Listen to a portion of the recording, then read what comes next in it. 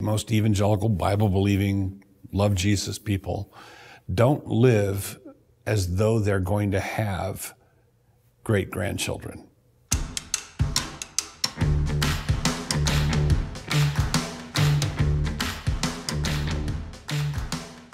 Many Christians wonder why are why are guys marrying guys and why feminism and why abortion, why the abortion carnage? And I would say, well, I think we need to re-examine our eschatology.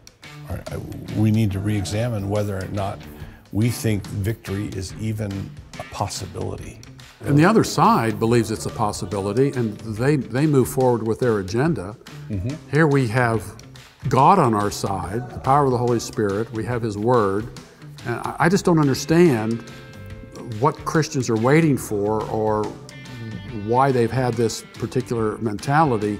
Jesus was vindicated, paid for the penalties of our sins on the cross, uh, takes is enthroned in heaven, heaven is his throne, earth is his footstool.